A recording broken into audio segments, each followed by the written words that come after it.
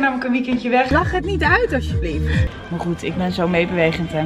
Een aantal outfitjes laten zien aan jou. Maakt het heel spannend. Ik moet beter verkopen denk ik. Hij mee, ik denk dat jij het moet doen.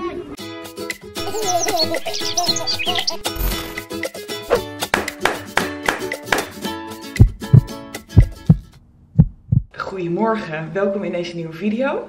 Ik heb net gedoucht en eh, ik eh, heb nog nat haar, maar dat maakt niet uit, want ik heb zo meteen namelijk een 2,5 urige durende rit naar Groningen. Ik ga namelijk een weekendje weg, een nachtje weg eigenlijk met een vriendin. En ik ben nog nooit in Groningen geweest, dus ik ben echt super benieuwd naar deze stad. Ik ga jou uiteraard meenemen. Ik heb een lekkere nieuwe uh, jurk aan. Deze had ik opgestuurd gekregen van Fabienne Chapeau. En uh, het is echt een heerlijke jurk voor mijn uh, buik. Want ik heb heel veel uh, groeiruimte. Maar je hebt hier dus wel een soort van strikje. Dus dat is echt ideaal. Dus ik ben heel blij met deze jurk. Hij zit ook echt super lekker. Dus dit is mijn outfit of today. En ik heb dan nieuwe Dr. Martens onderaan. Dit is mijn handbagage. Deze tas vind ik altijd fijn voor weekendjes weg en dagjes. Ik heb een sjaal meegenomen, want het gaat wel een beetje frisser worden, begrijp ik. En dit is mijn favoriete tas voor weekendjes weg. Hij heeft namelijk de grootte van de Ikea tas, dus past echt heel veel in. Stap mee in de auto, we gaan zo een koffietje halen en let's go. En ik heb een heerlijke lange jas aangedaan. Ik hou van lange jassen. Deze komt echt bijna tot de grond. Dat vind ik altijd heel cool staan voor als je een wat langere jurk hebt dat uh, je jas alsnog over je jurk heen valt. Ik heb dus alleen weer geen tijd gehad voor gelnagels. En dan krijg je gewone nagellak dit effect is natuurlijk echt om te huilen. Dus ik hoop dat zo meteen in de auto nog even te kunnen bijwerken. Nou, dat kan natuurlijk gewoon niet in één keer goed gaan. Is het ding omgeflikkerd. Nu zijn we het korstje kwijt. Oh, wacht, ik zie hem Heb je hem? Oh, wacht even. Maar we hebben koffie. Dus ik klaag nergens over. Gadver. Jawel, we zijn in Groningen. Een, een fototasje. Ja. Dit, dit symboliseert mijn leven op dit moment. Ja.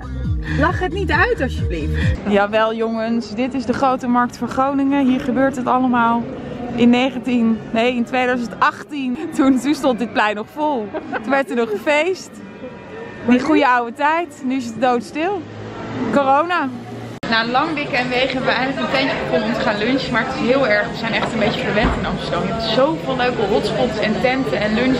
Borreltentjes in Amsterdam met allemaal lekkere creatieve gerechten. En dan kom je hier, met alle respect hoor, maar dan merk je gewoon dat het kaart even anders is. Toch? Mag ik wel zeggen. Ja, net, weet je wel, tosti, broodje bal. Minder, minder creatief, maar het is gezellig. We hebben lekker twee broodjes besteld en dan gaan we samen delen. Ieder de helft. Ik heb dus een heel cool leer blouseje gezien. Het ziet er nu niet uit op deze jurk, maar kijk, je moet je voorstellen dat ik straks natuurlijk enorme buik heb. En dan gewoon een stoer shirt en dan dit een beetje en dan een soort flare jeans. Kan het volgens mij wel heel tof zijn. Ja, ik ga deze meenemen. Blij mee. We toppen hem lekker af met een 0.0'tje. Niks mis mee. uh, proost. Ja, ja. Nou, we zitten nu wel echt in een leuk tentje. Het heet Werkman. Helemaal hip en happening volgens mij. Een lekkere salade met Groningse mozzarella. En een Gronings mosterdsoepje. Kijk, zij is er ook bij. De achterkant. Hè? Lekker. Mm. Oh, dit jongens, kijk. Kaas. Echt. Ik neem mijn woorden van vanmiddag neem ik terug over de horeca in Groningen. Het is super leuk. We hebben echt een super leuke tent. Het was geloof ik vier, vijf maanden open. Dus als je een keer in Groningen bent, moet je daar naartoe. Het was echt hot and happening. Heel gezellig geweest. Nee, uh, we lopen hier door de donkere straten van Groningen. Het heeft heel hard geregend net. En we gaan onderweg naar de bioscoop. Want ja, wat doe je als je zwanger bent en je moet een avond zonder alcohol doorkomen. Ja, dan is een filmpje wel heel erg lekker. Dus, daar gaan we nu naartoe. En het is, begint echt kouder te worden. Je merkt dat, het, uh, dat de herfst in aantocht is. Het heeft ook wel weer wat knus of zo. Het is gewoon lekker een beetje koud, lekker warm aankleden. En dan zo lekker warm tegen elkaar aankruipen. Ja, schat? Nee, anderhalve meter afstand. Jongens, dat doen we ook echt. Anderhalf. Nog steeds. Wij doen nog steeds mee. Ik ben niet grappig. Kan jij een leuke opmerking hierbij geven? Nee. Wat denken we hierbij? Hmm, ik word er wel vrolijk van. Ach, de geur van paté is gewoon de geur van popcorn gemixt met plastic vloeren of zo. Ik weet niet wat het is. Heel herkenbaar. Ja, dit is zo lekker. En dat eet je dus alleen in die bioscoop. Is echt verslapen. Die gaan we meenemen. Zal ik een leuk knuffeltje meenemen voor hij mee? oh, oh, wat lelijk. Dit doet echt bijna mijn ogen. Ik heb dus een discussie met die mevrouw hier naast me zit. Van, dit is toch hartstikke ver weg. Die wil dan helemaal achterin gaan zitten. Terwijl ik denk dan van je gaat naar die bioscoop. Ik kan net zo goed een iPhone uh, neerzetten. Hetzelfde kleine beeld. Ik zit veel liever daarvoor aan. Maar goed, ik ben zo meebewegend hè. Super meebewegend. Kijk, dit is de iPhone. Als ik hem zo hou is het scherm even groot als van de bioscoop. Ja. Maar goed. We hebben het er niet meer over. Kijk, achterin wilde je vroeger alleen maar zitten als je stiekem wilde zoenen. Of vingeren met een date toen je 15 was. Nee, dat deed ik trouwens nooit, papa. Mama, ik, ik vingerde nooit. Nee. En de knabbeltjes moeten dan natuurlijk eigenlijk gewoon al op zijn voordat de film begint, hè? Wil je ook? Neem jij de laatste? Dan is het op. En dan kunnen we aan de film beginnen. Nee. En we gaan naar de film. Alles is zoals het zou moeten zijn. Heel benieuwd. Goedemorgen. Koekoek. Ik kan niet lachen, want mijn hele gezicht is nog puffy. Dat heb ik altijd als ik diep geslapen heb. Ik heb 8 uur geslapen, jongens. Doet de mens goed. We slapen trouwens in het Student Hotel. Kijk, helemaal hip ingericht. Zo jongens, we zijn weer klaar voor dag 2 in Groningen. We gaan zo meteen nog even twee uurtjes stad in. Ik heb vandaag dit aan, lekker casual lookje. Mijn nieuwe t-shirt. Een lekkere broek. Deze had ik nog liggen. Het was een soort pak, maar er zit een heel klein glittertje in. En alle broeken met een, uh, een um, hoe heet dat? Stretch. Ja, alle broeken met een elastiek, die pas je dus nog wel even een tijdje. Dus dat was echt top. Dus deze ben ik helemaal blij mee. En lekker casual schoentjes. Oh, dit is een chai latte. Daar had ik zoveel zin in. Als alternatief voor de koffie. Yum. Door een van mijn volgers werd ik getipt voor deze winkel. Interieurwinkel. Heel benieuwd. Oh, die lampen zijn gaaf. Wat een prachtige winkel dit. Jongens, hou op. Hier wil je toch gewoon alles hebben? Prachtig. Kerstballen. Kunnen hier vroeg genoeg mee beginnen. Dit is ook zo leuk voor in een uh, babykamer. Dat wil ik, denk ik. Kan dat voor jongetjes? Ja, kan prima, toch? Jezus, wat een interieur. Ze hebben hier nog veel meer beneden. Kijk nou, dit wil je toch allemaal hebben gewoon? Prijsjes zijn ook best wel oké namelijk. Kijk, dit kussentje ga ik kopen. Vind ik leuk. En dit. Gewoon een mooie kleur. Deze ga ik ook meenemen. Vind ik echt een leuke kandelaar. Deze broek heb je toch nodig in je leven als je zwanger bent. Stretchy, glitter. Ga ik passen. Deze gaat sowieso mee naar huis. Is toch een topper dit. Ook genoeg speling hier. En gewoon een zwarte. Die zit echt super lekker. Die ga ik ook meenemen. Oh, ik moet toch echt een officiële zwangerschap boeken ben ik bang. En we gaan een nieuwe winkel van Nelson ook even bekijken. Echt mega groot. En ze hebben dus ook een koffieshop. Zoals je weet zijn we bezig met ons huis uh, verkopen. En vandaag hebben we de laatste dag, um, laatste bezichtigingen dag. We hebben totaal 41 kijkers gehad. Echt mega veel. Want ze hadden verwacht 15 tot uh, 20. Dus um, ja, hopen natuurlijk dat er een paar uh, mensen tussen zitten die het willen kopen. Dus morgen worden er biedingen gedaan. Dus het zijn even spannende tijden. Het huis is dus nu weer super opgeruimd. Dus ik dacht, misschien is het wel leuk omdat het 19 van de 20 keer natuurlijk één grote zwijnenstal is hier in de vlog. Om een keer wat shots te nemen van, even kort, uh, van hoe het huis er nu uitziet opgeruimd. Uh, van alle accessoires en zo. Misschien dat je, leuke, uh, ja, dat je nog inspiratie krijgt of zo erop. Want we wonen hier natuurlijk niet meer zo heel lang. Mijn nieuwste aanwinst meteen even neergezet. Deze vaas dus, die bruine. Deze kandelaar met die groene kaars. Vond ik wel een mooie combinatie. En het kussentje. We hebben dus allemaal verschillende kussentjes op die bank. En ik vind dit wel een leuke toevoeging. Keukentje helemaal opgeruimd. In die mand, daar stoppen natuurlijk altijd al haar speelgoed. Boekjes. Een paar knuffeltjes. Wij hebben niet heel veel knuffels eigenlijk. En hier in deze kast.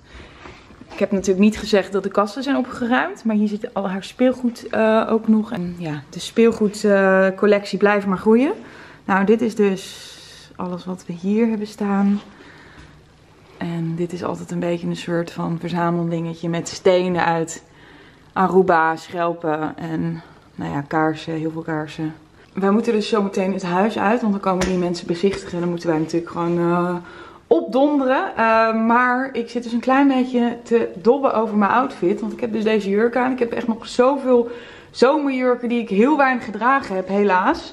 Um, en ik heb dus nieuwe Dr. Martens. Die had ik eerder ook al even laten zien.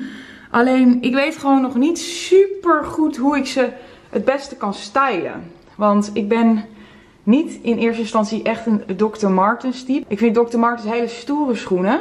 En het heeft ook wel een beetje een soort creatieve, um, ja, alternatieve imago of zo voor mij. Vanuit vroeger. Mijn zus droeg ze altijd toen ze 14 was, puberaal. En dan droeg ze van die grote verlepte, pillerige trui van mijn vader eroverheen. Dat was dan zeg maar de stilo. Maar nu zijn Dr. Martens natuurlijk weer helemaal hip. Dus uh, ik dacht, ik kan natuurlijk niet achterblijven. Dus ik ben er wel voor lak gegaan. Die ik dus overigens besteld heb bij Nelson. En Nelson is echt, heeft echt een mega grote collectie met Dr. Martens. Dat is echt bizar. Die hebben echt, van in de winkel waar ik deze week was, hebben echt glitter en alle kleuren van de regenboog. Dus dat is wel echt een tip. Maar goed, dit is dus uh, gewoon te koud voor het seizoen waarin we nu zitten. Dus uh, ik ga eens eventjes een aantal outfitjes laten zien aan jou. Gesteld met Dr. Martens zet ik mezelf even aan het werk om dus even goed na te denken over hoe ik dus deze Dr. Martens het beste kan stylen. Uh, en misschien dat het jou ook inspiratie geeft. Dus laten we van start gaan.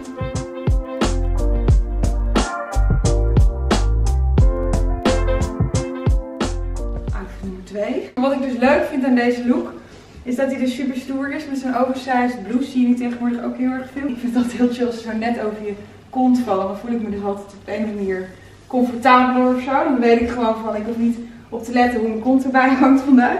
Maar wat ik dus heel leuk vind, als je dan dus net nog wel een randje buik hebt. Flare jeans heb je echt een soort stoere sexy look.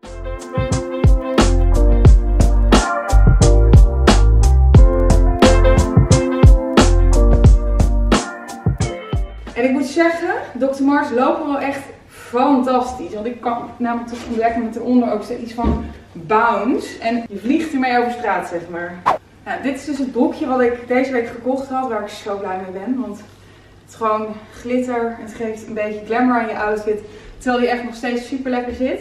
Uh, en dan heb ik er gewoon nu even zo'n hele chille oversized sweater overheen gedaan. Een beetje glitter en glamour maakt het leven toch een klein stukje gezelliger, toch? En dat is dus ook de reden waarom ik heb gekozen voor lak Dr. Martens. Omdat die gewoon net even wat chiquer of zo zijn. En wat ik hier dus heel leuk aan vind, is dat je dus een combinatie hebt van allerlei verschillende materialen. Dus je hebt leer, je hebt een beetje glitter en dan dus lak. Maakt het heel spannend. You love it or you hate it, deze outfit. Mijn man die zou denken dat ik naar een circus tent onderweg ben met deze mouwen. Maar ik vind dit dus echt geweldig. Ik hou heel erg van van volume op bepaalde plekken. En dan weer alweer in lekker strak. En dan gewoon zeg maar silhouet. En dit pakje heb ik dus, wel leuk om te vertellen, heb ik dus drie jaar geleden gekocht. Uh, het is het enige zwangerschapsitem wat ik heb gekocht in die zwangerschap. Want ik ben altijd van mening dat je prima een maatje groot uit een normale collectie kan gebruiken. Of stretch. En dan kun je echt de hele zwangerschap gewoon uh, prima doorkomen. Maar dit is dus gewoon echt een zwangerschapsitem. En die kan ik mega in groeien. Maar dit is toch super cute. Ik ben heel benieuwd wat jij van deze outfit vindt. Laat het me weten.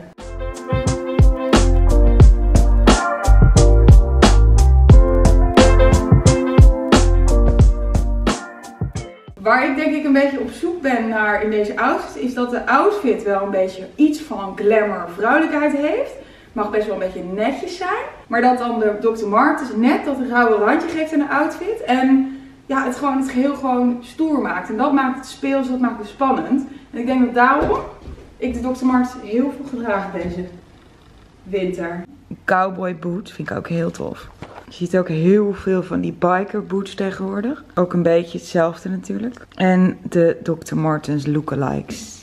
Het is weer het einde van de dag. En raad eens voor welke outfit ik gekozen heb om vandaag aan te doen. Deze. En ik moet wel lachen, want ik heb namelijk net op Instagram gezet Jongens, mijn man vindt dit een clownspak. Ik vind het een heerlijke prego outfit. Wat vind jij? En maar liefst 33% vond het een leuke outfit. En de rest dus niet. Ehm, maar ik denk dat zij niet goed genoeg naar het filmpje hebben gekeken. Want ik vind het namelijk wel heel erg leuk. Laat me vooral weten. En uh, ander grappig nieuws is dat het huis weer een grote bende is. Terwijl we letterlijk de hele dag weg zijn geweest.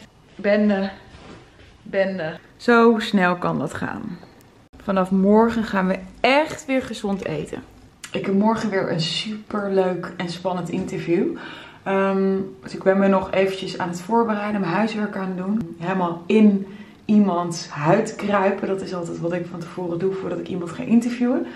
Um, het is altijd belangrijk om zeg maar niet alles te weten. Zeg maar een kijker die de persoon die je gaat interviewen, um, kan die persoon helemaal nog niet kennen. Dus je moet ook wel een soort van vragen kunnen stellen die een blanco iemand wil weten. Maar je wil ook wel gewoon dingetjes die de vaste kijkers nog niet weten. Dus daar ben ik altijd mee bezig in mijn voorbereiding.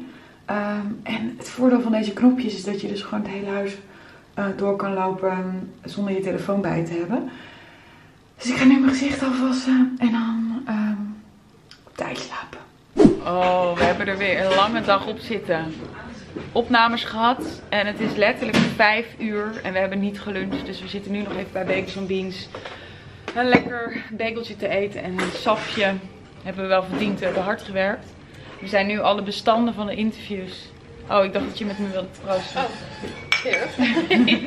Alle bestanden van de interviews staan op die kaartjes. Die zijn we nu aan het overzetten op de computer. Die opnamedagen zijn altijd uh, intens. Maar wel heel leuk. Vandaag heb ik dus deze outfit aan. Die blouse die ik eerder had gekocht. En dit heerlijke broekje. En jezus, wat ben ik blij met het broekje. Welke dier is dat?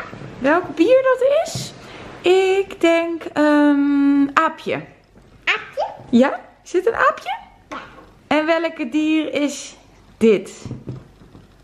Dat is een lief diertje. Zo gezellig. Ik heb nu sinds... Uh... Hier, zag je dit? Sinds een paar dagen dat ik hem zo goed voel. En dat mijn buik ook zo helemaal meebeweegt, weet je.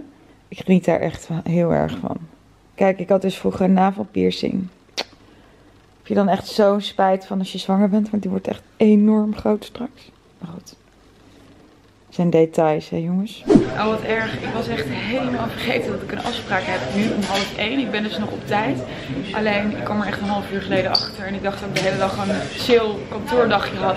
Maar wel super gezellig. Ja, dus ik zit nu dus lekker bij George. Um, en uh, ze hebben hier allemaal hele strikte regels. Want uh, de regels voor corona zijn weer aangescherpt. Dus uh, alleen maar goed. Laten we met z'n allen echt super goed opletten. En gewoon anderhalve meter aanhouden. En, je wil het gewoon niet krijgen. Je niet.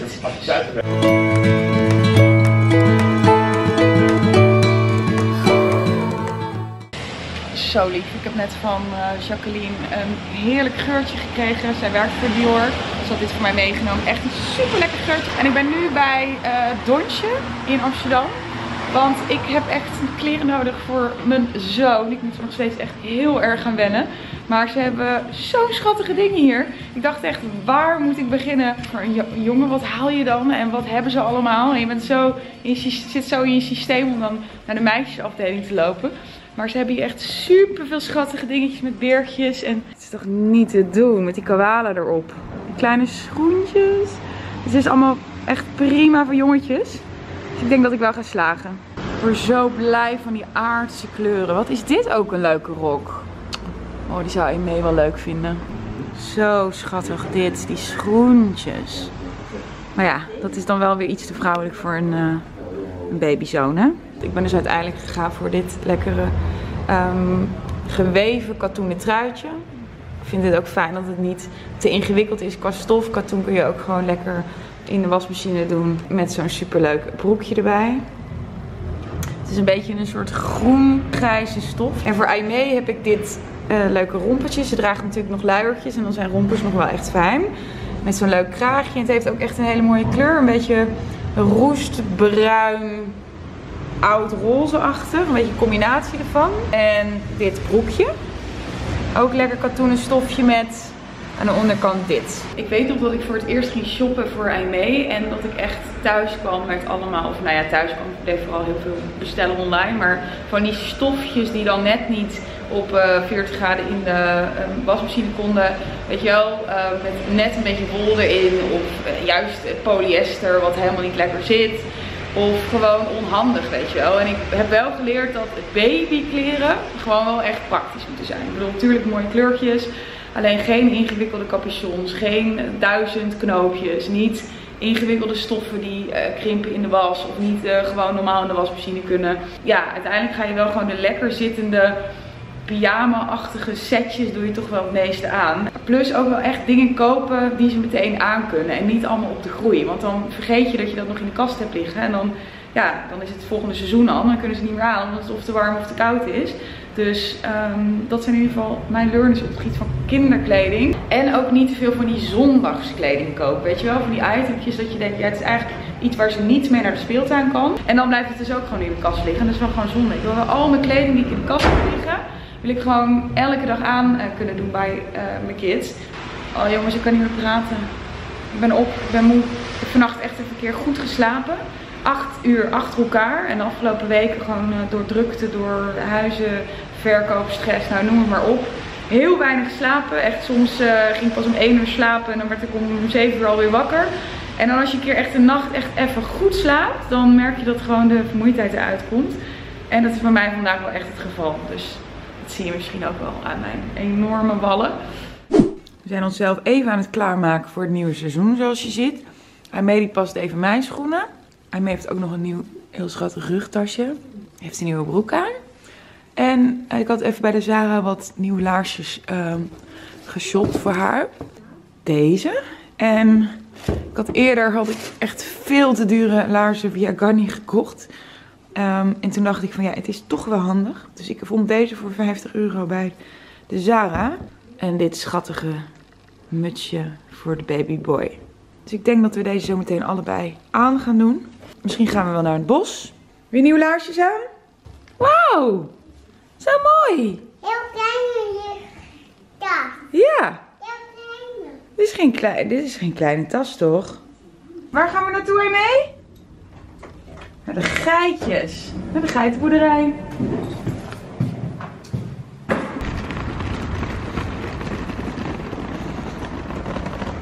Doorlopen, zegt ze. Doorlopen. Kleine diva. Goedemorgen. We zijn onderweg naar de geitenboerderij in het bos. En ik ga me hier toch een partij van genieten samen met mijn grote liefde. Ik heb het gevoel alsof ik al heel lang geen echt goede quality time dag met haar heb gehad. Door alle drukte en ik had vorige mamadag had ik een fotoshoot. En dan kun je ook gewoon niet alle 100% aandacht aan haar geven. Ook omdat je niet alleen bent. En ik vind het zo fijn om even met haar alleen te zijn. Ik kan niet wachten en dan heerlijk lekker in het bos. Ik moet veel vaker naar het bos. Echt. Even die gezonde lucht insnuiven. Heerlijk. Opsnuiven.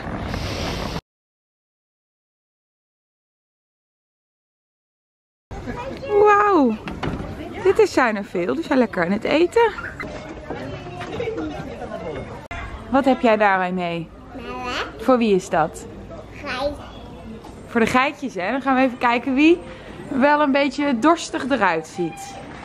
Zo, ga maar. Oh, daar komt er alleen. Ja, mama is nog banger dan zij. Kom maar. Wil je? Kom maar. Nee, is niet lekker? Ik word gewoon afgewezen hier. Drinken? Nee. Drinken? Nee. Ik moet beter verkopen, denk ik. mee. ik denk dat jij het moet doen. Hij mee nu vasthouden? Oeh.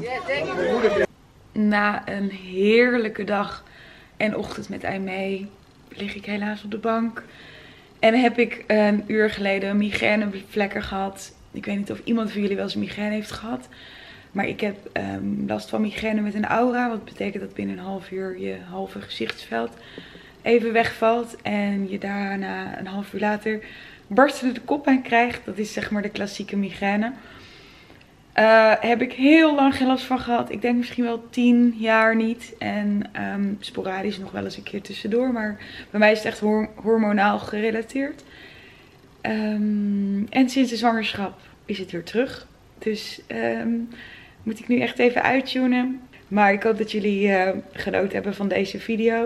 Ik heb op zich best wel wat dingetjes ondernomen. Dus hoop je like it. En volgende week zijn we er uiteraard weer met nieuwe video's. Volgende week zondag om 7 uur.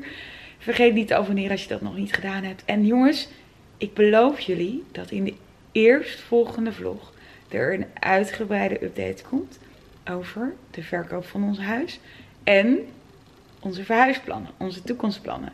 Want die zijn er. En die, hopelijk, die gaan hopelijk uh, komende week concreet gemaakt worden.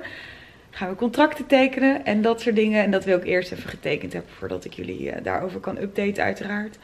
Maar dat gaat dus komen. Dus er gaan nog uh, spannende weken, maanden aankomen. En over drie maanden ben ik al uitgerekend van de kleine boy. Dus um, mooie tijden in het vooruitzicht. Ik ga nu mijn oogjes dicht doen op de bank. Aimee ligt ook te slapen. Dus dikke kus. Tot snel.